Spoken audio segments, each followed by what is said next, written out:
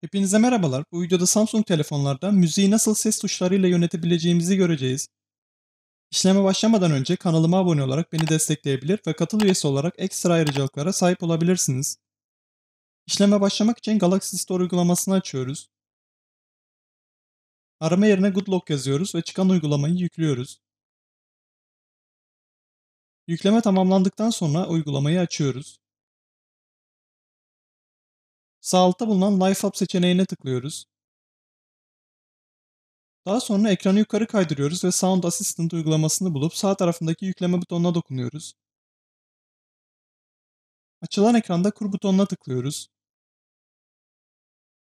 Uygulama kurulduktan sonra açıyoruz ve devam butonuna tıklıyoruz. Ekranı yukarı kaydırıyoruz ve müziği ses tuşlarıyla kontrol edin seçeneğini aktif hale getiriyoruz.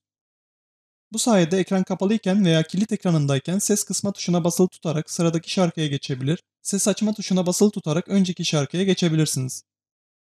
Videoyu izlediğiniz için teşekkürler. Yararlı bulduysanız videoyu beğenmeyi ve kanalıma abone olmayı unutmayın.